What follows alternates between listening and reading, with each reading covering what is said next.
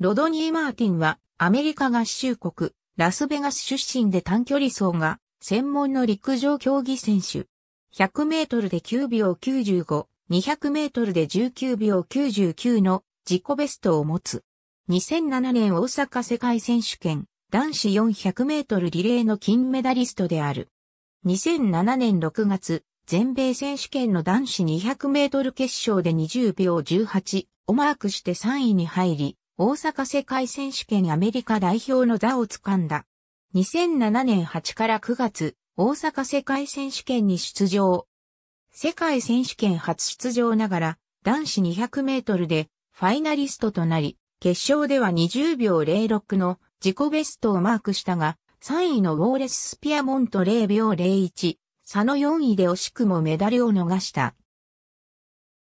男子400メートルリレーでは、予選で1走を務め、38秒10の組2着で決勝進出に貢献した。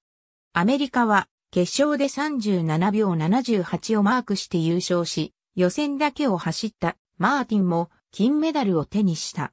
2008年6月、全米選手権に出場すると、男子100メートル二次予選で自身初の9秒台となる9秒95をマーク。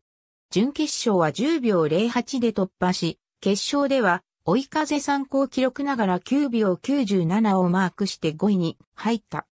男子200メートルは、決勝で自身初の19秒台となる19秒99をマークしたが、3位のウォーレス・スピアモント0秒09、差の4位に終わった。この結果、個人種目の北京オリンピックアメリカ代表には選ばれなかったが、男子400メートルリレーアメリカ代表の座を掴んだ。2008年8月、北京オリンピックの男子400メートルリレーでは、予選で1走を務めたが、パットンとゲイのバトン交換でバトンを落とし途中危険となった。記録欄のうちの数字は、風速で、プラスは追い風を意味する。備考欄の記録は、当時のもの。ありがとうございます。